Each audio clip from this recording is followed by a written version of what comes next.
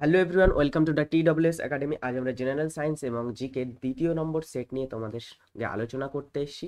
প্রথম সেট নিয়ে আমরা আলোচনা করেছি, সেই ভিডিওটি তোমরা যদি না দেখে থাকো, অবশ্যই দেখতে দেখে দেখে নেবে এবং আমাদের সমস্ত ভিডিওর লিঙ্ক প্রথমেই পেতে আমাদের Telegram group, official the way of solution verified গ্রুপে অবশ্যই যুক্ত হয়ে যাবে এবং চ্যানেলে নতুন হয়ে থাকলে অবশ্যই চ্যানেলটিকে সাবস্ক্রাইব করে দেবে এবং এই ভিডিওটি বন্ধুদের মাঝে শেয়ার করতে ভুলবে না এবং ক্লাসটি দেখতে থাকো মনোযোগ সহকারে। প্রথম প্রশ্ন স্ক্রিনে। রণথম্বর ব্যাঘ্র প্রকল্প কোন রাজ্যে অবস্থিত? রণথম্বর ব্যাঘ্র প্রকল্প কোন রাজ্যে অবস্থিত? আচ্ছা এখানে সঠিক উত্তর হয়ে যাবে অপশান এ, রাজস্থানে অবস্থিত রণথম্বর ব্যাঘ্র প্রকল্প এই ব্যাঘ্র প্রকল্প সম্পর্কে আমরা কিছু তথ্য এখান থেকে জেনে নেব যে ব্যাঘ্র প্রকল্প বা প্রজেক্ট টাইগার প্রজেক্ট টাইগার কত খ্রিস্টাব্দে গৃহীত হয় ভারতে? কার্যকর করা হয় কত খ্রিস্টাব্দে। মনে রাখবে, উনিশশো তিয়াত্তর খ্রিস্টাব্দে প্রথম প্রজেক্ট টাইগার গৃহীত হয় ভারতে। এবং আমরা যে এখান থেকে জানব যে ভারতে মোট কতগুলি ব্যাঘ্র প্রকল্প বর্তমানে আছে, ভারতে মোট ফিফটি ফোর চুয়ান্নটি ব্যাঘ্র প্রকল্প আছে। এর মধ্যে থেকে যদি প্রশ্ন এসে থাকে যে পশ্চিমবঙ্গে কতগুলি ব্যাঘ্র প্রকল্প আছে, তাহলে সঠিক উত্তর হয়ে যাবে দুটি ব্যাঘ্র প্রকল্প আছে। একটি হচ্ছে কি? বক্সা। বক্সা এবং দ্বিতীয়টি কি হচ্ছে? সুন্দরবন। সুন্দরবন।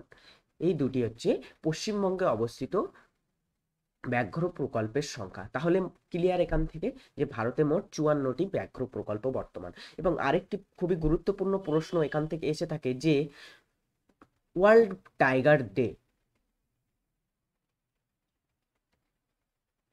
world tiger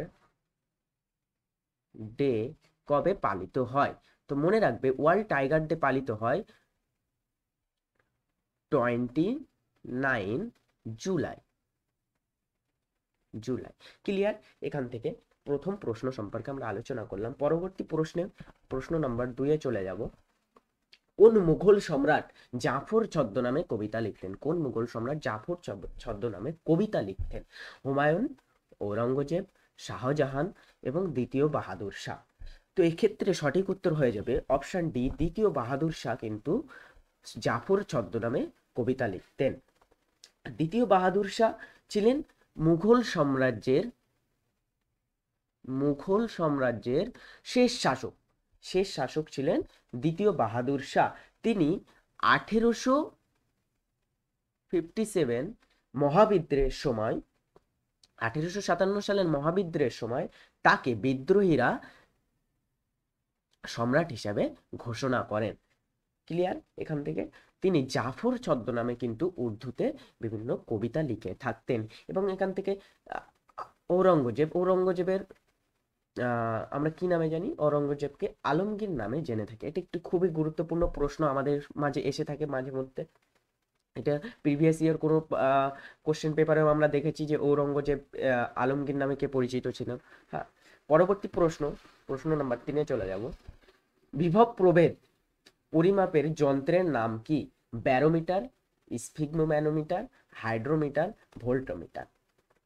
তাহলে সঠিক উত্তর হয়ে যাবে এক্ষেত্রে অপশন ডি, ভোল্টমিটার। ঠিক আছে?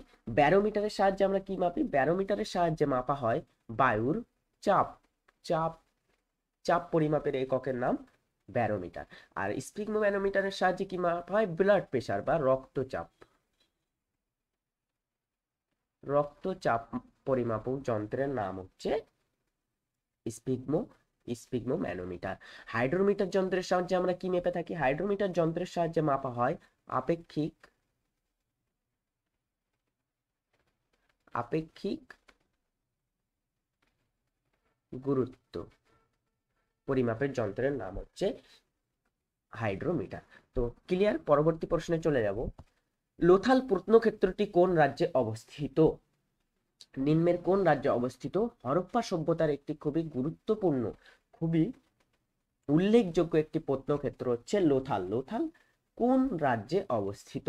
মনে রাখবে, লোথাল লোথাল, ধোলাভিরা ধোলাভিরা, এগুলি কিন্তু পরীক্ষায় এসে থাকে। ধোলাভিরা আরেকটি খুবই গুরুত্বপূর্ণ প্রশ্নক্ষেত্র হচ্ছে সুরকোটাডা সুরকো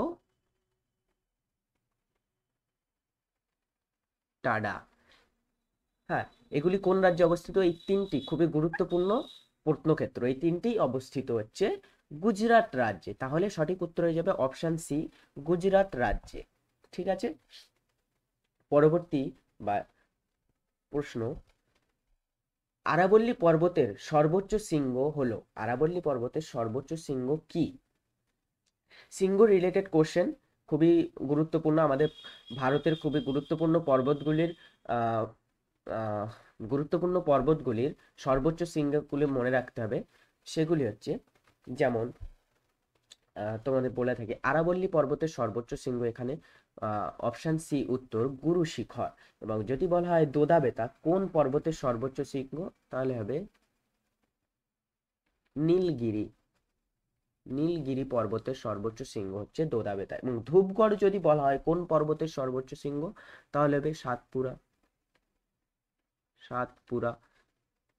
আরও কয়েক কতগুলি আমি তোমাদের লিখে দিচ্ছি খুবই গুরুত্বপূর্ণ। যেমন, সমগ্র দক্ষিণ ভারতের দক্ষিণ ভারতের সর্বোচ্চ শৃঙ্গ কি? এটা মনে রাখবে, সমগ্র দক্ষিণ ভারতের সর্বোচ্চ শৃঙ্গ হচ্ছে আনাইমুদি। এবং এটি কিন্তু পশ্চিমঘাট পর্বতেরও সর্বোচ্চ শৃঙ্গ। আরও একটি খুবই গুরুত্বপূর্ণ প্রশ্ন, সেটি হচ্ছে ছোটনাগপুর, এটি পশ্চিমবঙ্গের ভূগোলের মধ্যে পড়ে। ছোটনাগপুর মালভূমি সর্বোচ্চ শৃঙ্গের নাম কি? তাহলে মনে রাখবে পরেশনাথ। পরেশনাথ পাহাড় হচ্ছে ছোটনাগপুর মালভূমির সর্বোচ্চ শৃঙ্গ এমনই খুবই গুরুত্বপূর্ণ প্রশ্ন নিয়ে আমি তোমাদের মধ্যে হাজির হব। অবশ্যই চ্যানেল, যদি ক্লাসটি এতক্ষণ ভালো লেগে থাকে, অবশ্যই একটি করে লাইক করে দেবে এবং যারা যুক্ত হয়েছে তাদের সকলকে থ্যাংক ইউ নেক্সট কঠিন অবস্থায় কোন গ্যাসকে শুকনো বরফও বলা হয়? তো খুবই একটি ইজি প্রশ্ন। তাহলে সঠিক উত্তর হয়ে যাবে অপশান বি কার্বন ডাই অক্সাইডকে শুকনো গ্যাস, এই শুকনো বরফও বলা হয় কঠিন অবস্থায়। এসপিএসসি বা রাজ্য রাজ্য সার্ভিস কমিশনের চেয়ারম্যান ও সদস্যদের কার্যকালের মেয়াদ কত? তো এখানে পাঁচ বছর, ছয় বছর বা বাষট্টি বছর বয়স পর্যন্ত হ্যাঁ বা পাঁচ বছর বা ষাট বছর বয়স পর্যন্ত, তিন বছর বা পঞ্চাশ বছর বয়স পর্যন্ত। সঠিক উত্তর কি হবে এখানে? যে তার আগে আমরা জেনে নিই যে এসপিএসসি বা রাজ্য পাবলিক সার্ভিস কমিশনের চেয়ারম্যান ও সদস্যদের কার্যকালের মেয়াদ হচ্ছে ছ বছর বা বাষট্টি বছর বয়স পর্যন্ত। যেটি আগে হবে। তাহলে এখানে বলো এসপিএসসি চেয়ারম্যানদের কে নিয়োগ করে থাকেন? এসপিএসসি চেয়ারম্যানদের কে নিয়োগ করে থাকেন? মনে রাখবে এসপিএসসি চেয়ারম্যানদের নিয়োগ করে থাকে, সঠিক উত্তর কি হবে? রাজ্যপাল রাজ্যপাল নিয়োগ করে থাকে এসপিএসসি চেয়ারম্যানদের এবং এসপিএসসির সাথে আরও একটি আরও একটি খুবই গুরুত্বপূর্ণ পদ হচ্ছে ইউপিএসসি ইউপিএসসি ইউপিএসসি চেয়ারম্যানদের কি নিয়োগ করে থাকেন? না ইউপিএসসি চেয়ারম্যানদের নিয়োগ করে থাকেন রাষ্ট্রপতি। রাষ্ট্রপতি নিয়োগ করে থাকেন ইউপিএসসি চেয়ারম্যানদের। এবং ইউপিএসসি চেয়ারম্যানদের কার্যকালের মেয়াদ কত? ইউপিএসসি চেয়ারম্যানদের কার্যকালের মেয়াদ হচ্ছে ছয় বছর ছয় বছর বা বা পঁয়ষট্টি বছর, যেটি আগে হবে। সেটি হচ্ছে ইউপিএসসি চেয়ারম্যানদের কার্যকালের মেয়াদ। তাহলে মনে থাকবে এখান থেকে। ভারতের মূল ভূখণ্ডের দক্ষিণতম বিন্দুটির নাম কি? ভারতীয় ভূখণ্ডের চারটি মূল বিন্দু আছে। তার মধ্যে দক্ষিণতম ভূখণ্ডের মূল ভূখণ্ডের দক্ষিণতম বিন্দুর নাম কি? ভারতীয় ভূখণ্ডের দক্ষিণতম বিন্দুর নাম হচ্ছে সঠিক উত্তর অপশন সি কন্যাকুমারিকা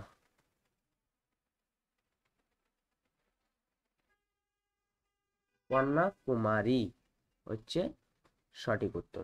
এবং এখানে তাহলে আর তিনটি সম্পর্কে আমরা জেনে রাখব, তা আমরা ভুলবো না। যে ভারতের পূর্বতম বিন্দুর নাম কি?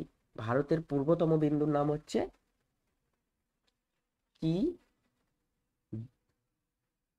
বি থু কি বিতু হচ্ছে ভারতের পূর্বতম বিন্দু। এবং যদি বলা হয় ভারতের পশ্চিমতম বিন্দুর নাম কি? তাহলে মনে রাখবে গুহারমতি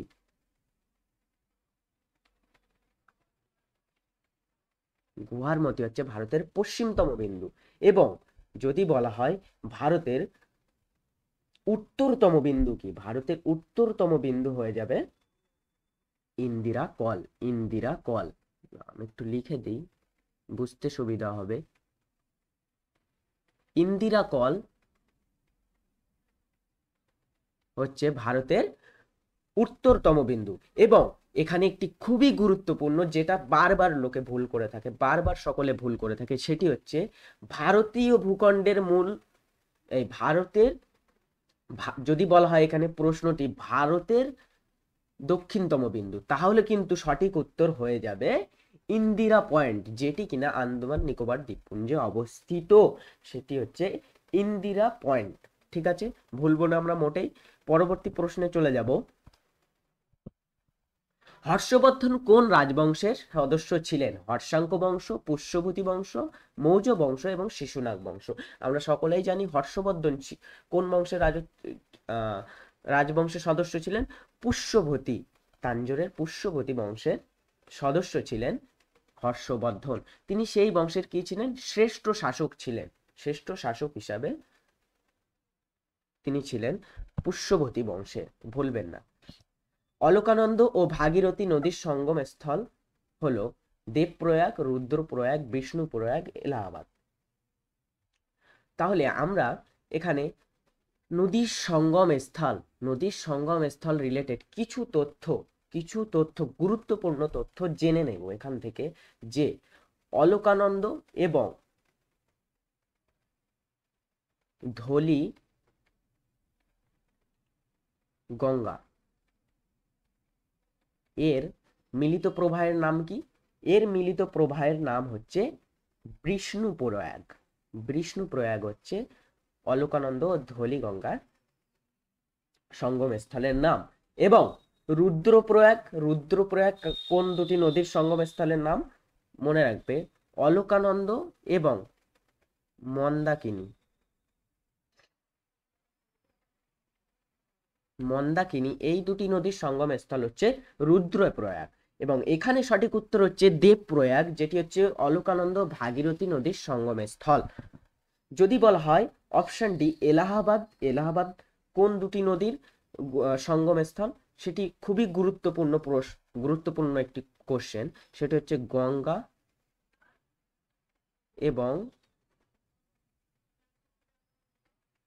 যমুনা। এই দুটি নদীর সঙ্গম স্থল হচ্ছে এলাহাবাদ, ঠিক আছে? পরবর্তী প্রশ্নে চলে যাব। ভারতের সর্বাপেক্ষা কম বৃষ্টিপাতযুক্ত অঞ্চল কোনটি? জয়সালমের, মৌসিনরাম, জয়পুর, গোয়ালিয়ার। আচ্ছা এখানে বলি, ভারতের সবচেয়ে বেশি বৃষ্টিপাতযুক্ত অঞ্চল কোনটি? তাহলে সঠিক উত্তর হয়ে যাবে অপশন বি, মৌসিনরাম বেশি বৃষ্টিপাতযুক্ত অঞ্চল। বা চেরাপুঞ্জি। আর যদি বলা হয় সবচেয়ে কম বৃষ্টিপাতযুক্ত অঞ্চল, তাহলে সঠিক উত্তর হয়ে যাবে অপশান এ, রাজস্থানের জয়সালমের। ঠিক আছে? নেক্সট কোশ্চেনে আমরা চলে যাব।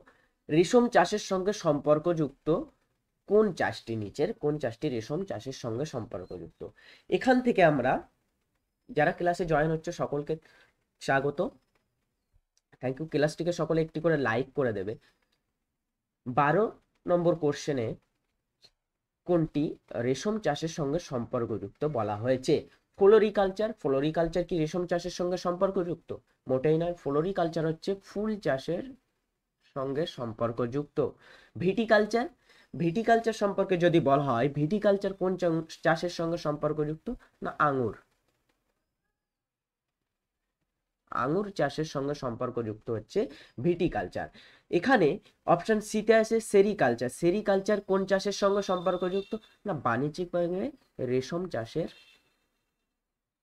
সঙ্গে সম্পর্কযুক্ত হচ্ছে সেরিকালচার আর পড়ে থাকে অপশান ডি এপিকালচার এপিকালচার বিভিন্ন কৃষি পদ্ধতি সম্পর্কিত টেকনোলজি কৃষি পদ্ধতি সম্পর্কিত যে কালচারগুলো আছে, সেগুলো কিন্তু আমাদের ব্যাপকভাবে মনে রাখতে হবে। ঠিক আছে? এগুলি পরীক্ষায় এসে থাকে। অপশন ডি এপি কালচার কোন চাষের সঙ্গে সম্পর্কযুক্ত? মৌমাছি পালন। মৌমাছি পালনের সঙ্গে সম্পর্কযুক্ত এপি কালচার ক্লিয়ার? নেক্সট কোশ্চেনে চলে যাব। লতা মঙ্গেশকর ভারতরত্ন পুরস্কার পায় কত সালে? আচ্ছা ভারতরত্ন পুরস্কার হচ্ছে, মনে রাখবে, ভারতের সর্বোচ্চ সর্বোচ্চ অসামরিক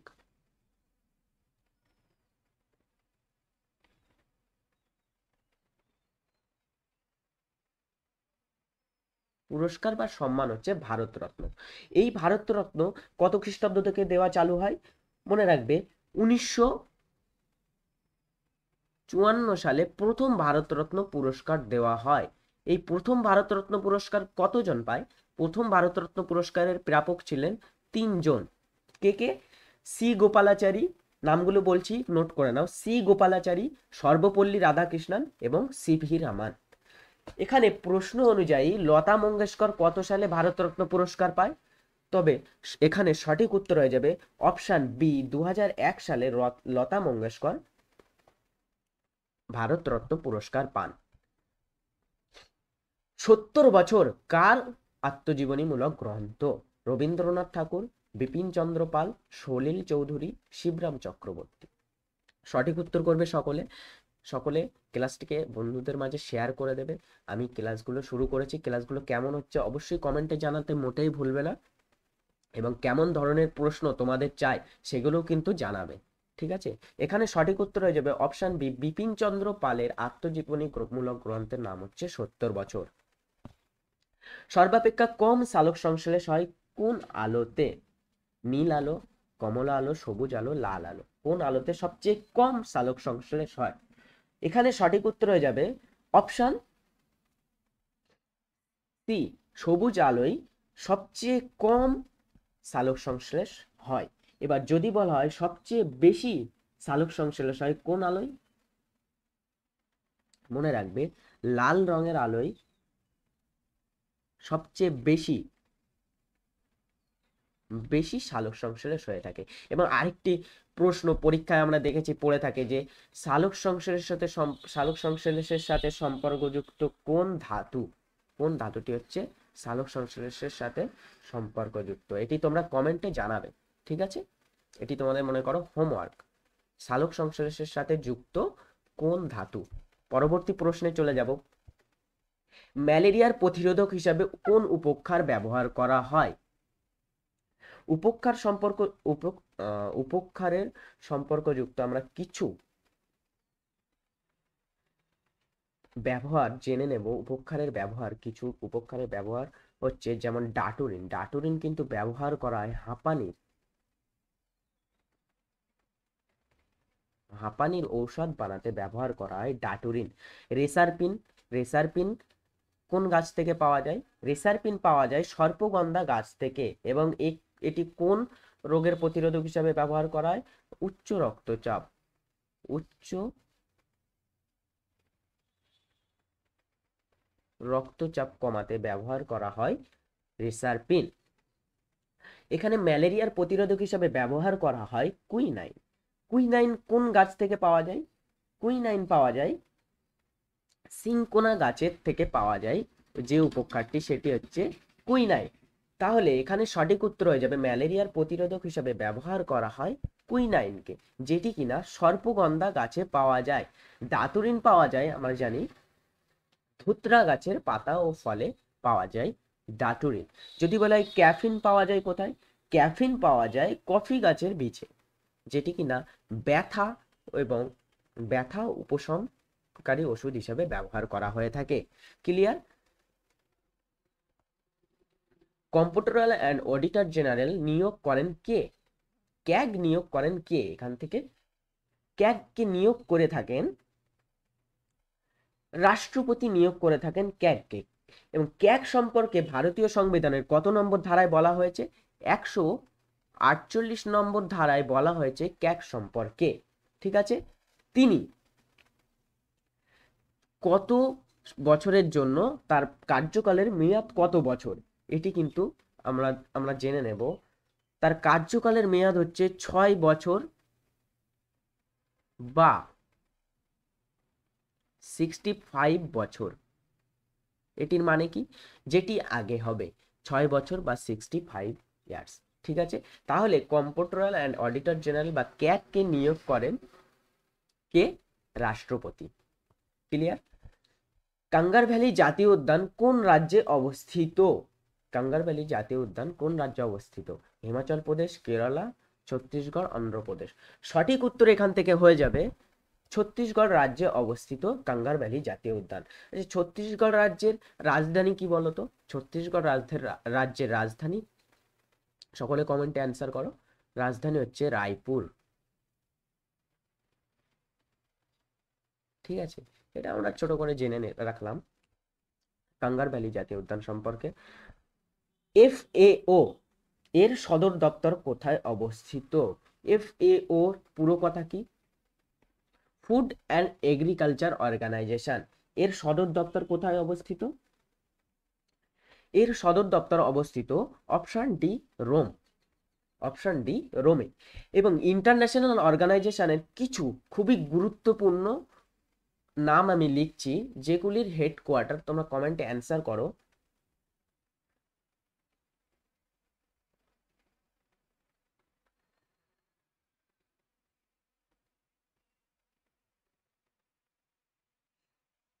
এই তিনটি আরেকটি দেই। আইএলও এগুলি পুরো কথা কি? এবং এগুলি কোথায় অবস্থিত? এছাড়াও আরও খুবই গুরুত্বপূর্ণ ইন্টারন্যাশনাল ইন্টারন্যাশনাল অর্গানাইজেশন আছে। এখান থেকে আমি অল্প কিছু আলোচনা করব যে এদের সদর দপ্তরগুলি কোথায় অবস্থিত। প্রথমে আসা যায় ইউনাইটেড নেশন অর্গানাইজেশন বা ইউএনও এর সদর দপ্তর কোথায় অবস্থিত? New York.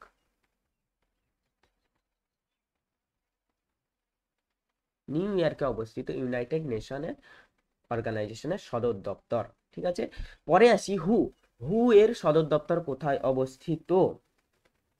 হু এর সদর দপ্তর বা ওয়ার্ল্ড হেলথ অর্গানাইজেশনের সদর দপ্তর অবস্থিত জেনেভা, সুইজারল্যান্ডের জেনেভাতে অবস্থিত হু এর সদর দপ্তর। পরবর্তী আসি ডব্লিউটিও বা ওয়ার্ল্ড ট্রেড অর্গানাইজেশনের সদর দপ্তর কোথায় অবস্থিত? ওয়ার্ল্ড ট্রেড অর্গানাইজেশনের সদর দপ্তরও জেনেভা। জেনেভাতে অবস্থিত ওয়ার্ল্ড ট্রেড অর্গানাইজেশনের সদর দপ্তর। লাস্ট আইএলও বা ইন্টারন্যাশনাল লেবার অর্গানাইজেশন এর সদর দপ্তর কোথায় অবস্থিত? এর সদর দপ্তরও কিন্তু অবস্থিত জেনেভাতে। জেনেভাতে। ঠিক আছে, ক্লিয়ার? আরেকটি পরবর্তী বা শেষ প্রশ্নে চলে যাব আজকের আমাদের। এখানে কি সঠিক উত্তর হয়ে যাচ্ছে? অপশন ডি, রোমে। ইটালির রোমে অবস্থিত এফ এ ওর সদর দপ্তর। বিশ্ব উপভোক্তা দিবস কোন দিনটিতে পালন করা হয়ে থাকে? সকলে উত্তর করো, বিশ্ব উপভোক্তা দিবস কোন দিনটিতে পালন করা হয়ে থাকে? অপশান উত্তর হয়ে যাবে, অপশান সি, পনেরোই মার্চ কিন্তু বিশ্ব উপভোক্তা দিবস পালন করা হয়ে থাকে।